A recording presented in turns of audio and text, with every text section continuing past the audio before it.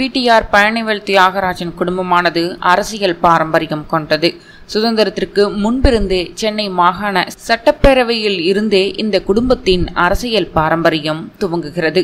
பழனிவேல் தியாகராஜன் அவர்களின் தாத்தா B. D. Rajan என்று அழைக்கப்பட்ட பொன்னம்பல தியாகராஜன் சென்னை மாகாணத்தில் முன்னாள் முதல்வரும் நீதி கட்சியின் தலைவர்களுள் ஒருவரும் ஆவார். அப்போதே ஆக்ஸ்போர்ட் மற்றும் கேம்பிரிட்ஜ் பல்கலைக்கழகங்களில் சட்டம் படித்து வழக்கறிஞர் பட்டம் பெற்ற பி. டி. ராஜன் ஆயிரத்தி தொள்ளாயிரத்தி இருபது சட்டமன்ற தேர்தலில் நீதி கட்சியின் சார்பில் போட்டியிட்டு தமிழக சட்டமன்றத்திற்கு தேர்ந்தெடுக்கப்பட்டார். ஆயிரத்தி தொள்ளாயிரத்தி முப்பத்தி ஏழு வரை சட்டமன்ற உறுப்பினராக நீடித்தார். பிறகு ஆயிரத்தி தொள்ளாயிரத்தி முப்பத்தி இரண்டு முதல் முப்பத்தி ஏழு காலகட்டத்தில் சென்னை மாகாணத்தின் பொதுப்பணித்துறை அமைச்சராக பணியாற்றினார். முதல்வராக இருந்த பொபுலி அரசர் ஐரோப்பாவிற்கு சுற்றுப்பயணம் மேற்கொண்ட போது சென்னை மாகாணத்தின் தற்காலிக முதல்வராகவும் பதவி வகித்தார். ஆயிரத்தி தொள்ளாயிரத்தி நாற்பத்தி நான்கில் பெரியார் ஈவே ராமசாமியுடன் ஏற்பட்ட கருத்து வேறுபாட்டால் திராவிட கழகத்தில் இணைய மறுத்துவிட்டார் அவரது தாத்தா. பிறகு ஆயிரத்தி தொள்ளாயிரத்தி நாற்பத்தி நான்கு முதல் பி டி ராஜனின் தலைமையில் நீதி கட்சி என்ற பெயரில் போட்டி நீதி கட்சியாக ஒரு தனி கட்சி செயல்பட்டு வந்தது. ஆயிரத்தி தொள்ளாயிரத்தி ஐம்பத்தி இரண்டு சட்டமன்ற தேர்தலில் ராஜனின் தலைமையில் பதினான்கு இடங்களில் போட்டியிட்டது. இந்த தேர்தலில்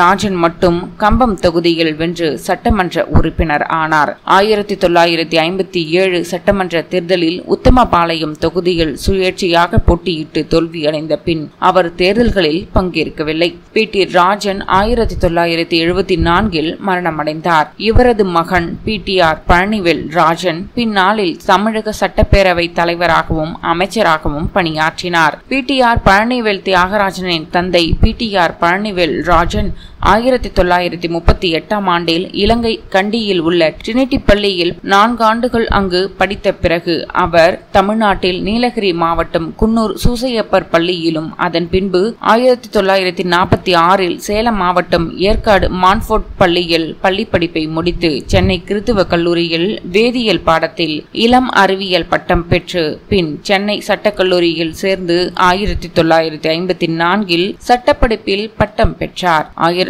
தொள்ளாயிரத்தி ஐம்பத்தி நான்கில் சென்னை உயர்நீதிமன்றத்தில் வழக்கறிஞராக பதிவு செய்து கொண்டு மதுரையில் வழக்கறிஞராக தொழிலை தொடங்கினார். பின்னர் பிடிஆர் பழனிவேல் ராஜன் தனது முப்பத்தி ஓராவது வயதில் ஆயிரத்தி தொள்ளாயிரத்தி அறுபத்தி மூன்றாம் ஆண்டு மே மாதம் இருபத்தி ஒன்பதாம் தேதியில் சேலம் சுப்பராய முதலியார் மகளான ருக்மணி அம்மாளை திருமணம் செய்து கொள்கிறார். இவர்களுக்கு ஆயிரத்தி தொள்ளாயிரத்தி அறுபத்தி ஆறாம் ஆண்டு மார்ச் மாதம் ஏழாம் தேதி ஆண் குழந்தை பிறக்க பிடிஆர் பழனிவேல் ராஜன் மகனுக்கு தியாகராஜன் என்று பெயர் சூட்டினார்.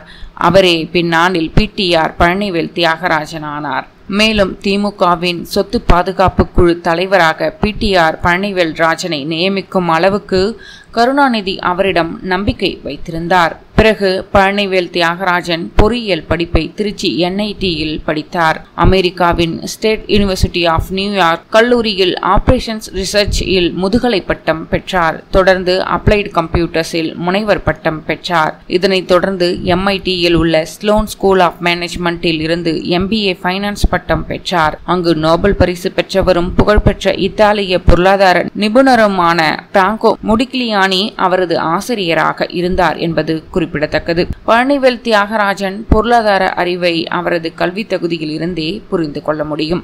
இரண்டாயிரத்தி ஆறில் அறநிலையத்துறை அமைச்சராக பதவியேற்ற பிறகு பிடிஆர் பழனிவேல் தியாகராஜனின் தந்தை பிடிஆர் பழனிவேல் ராஜன் ரயிலில் மதுரைக்கு சென்று கொண்டிருந்த போது திடீர் மாரடைப்பால் காலமானார். இவரது இறுதிச் சடங்கிற்கு வந்தபோதுதான் பழனிவேல் தியாகராஜன் என்பவரை பற்றி மதுரை மக்களுக்கு தெரிய வந்தது. அதுவரைக்கும் அவருக்கும் தமிழக அரசியலுக்கும் தொடர்பில் தொடர்பில்லாமல் தான் இருந்தது. இறுதிச் சடங்கை முடித்த கையோடு பிடிஆர் பழனிவேல் தியாகராஜன் சிங்கப்பூர் சென்று விட்டார். அடுத்த பத்தாண்டுகள் பிடிஆர் குடும்பம் அரசியலில் பங்கேற்கவில்லை.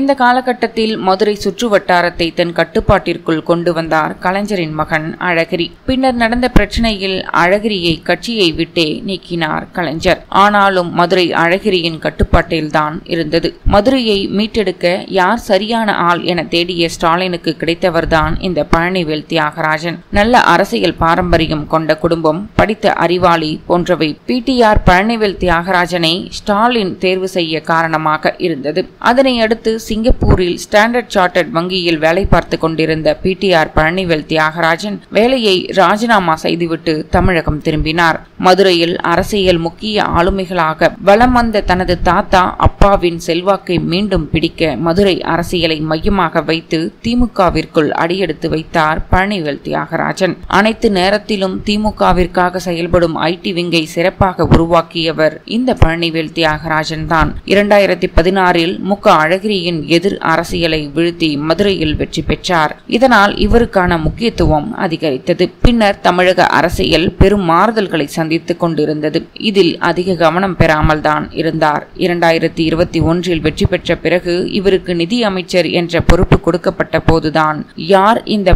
பழனிவேல் தியாகராஜன் புதிய பெயராக இருக்கிறதே என ஆராய துவங்கினார்கள். அதற்கடுத்து இவர் பேசிய பேச்சுகள் தெரிவித்த கருத்துகள் நாம் அனைவரும் அறிந்த ஒன்றுதான். மேலும் இவரது மனைவியின் பெயர் மார்கரெட் தியாகராஜன். இவருக்கு பழனிதேவன் ராஜன் மற்றும் வேல் தியாகராஜன் ஆகிய இரண்டு மகன்கள் உள்ளனர் என்பது குறிப்பிடத்தக்கது.